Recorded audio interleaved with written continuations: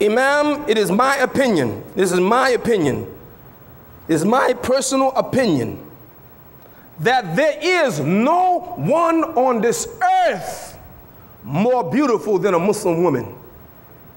There's no one who comes close to that, who is a servant of Allah, who dresses to please Allah.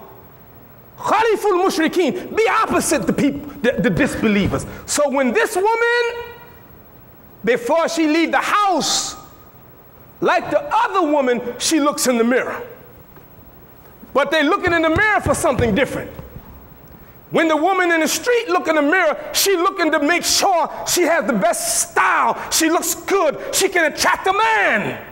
But this woman, when she look in the mirror, she makes sure she's dressed, she's dressed appropriately. Make sure that Allah is pleased with her. Make sure she's covered. So when she go out in the street, that she covered to please Allah subhanahu wa ta'ala. If she does that, she's beautiful. Opposite. And then Imam hit me, black and white.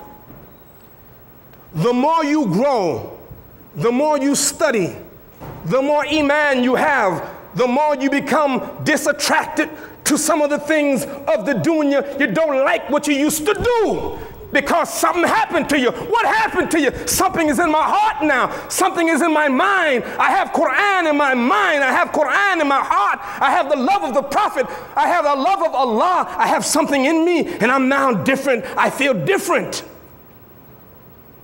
And I warned you, I warn you, those of you who still like the dunya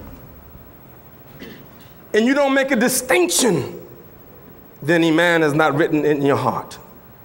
If you come here and you come here for Juma and say, man, let me get out of here, help, help give the khutbah so I can go, I'd go back to my business. And be careful. Be careful. Be careful.